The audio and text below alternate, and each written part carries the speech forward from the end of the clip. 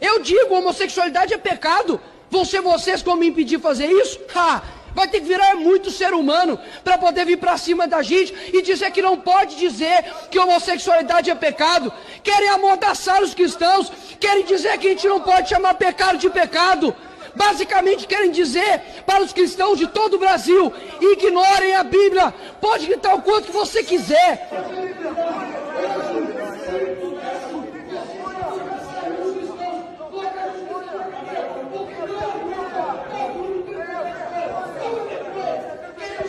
O quanto que você quiser. Não vão calar os cristãos, não vão taxar pastor André Valadão de homofóbico, de transfóbico, nada O disso. O que vocês querem fazer pessoas. é amordaçar, Tá aí, tá amordaçar dito. os cristãos. Hoje vocês iriam.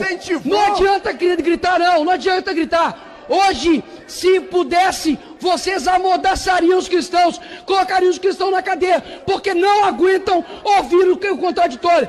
Toma vergonha! Querem usar o nome de Cristo para poder calar outras pessoas. Não leem a Bíblia, não tem relacionamento com Cristo. Eu continuo dizendo: pecado é pecado. E ponto final. Agora querem tirar a nossa liberdade de dizer o que achamos correto? Como assim? Essa é a liberdade de vocês? Eu tenho que ficar aguentando agora comunista dizer para cristão que quer ser cristão? Enquanto nós estivermos de pé, não tem ninguém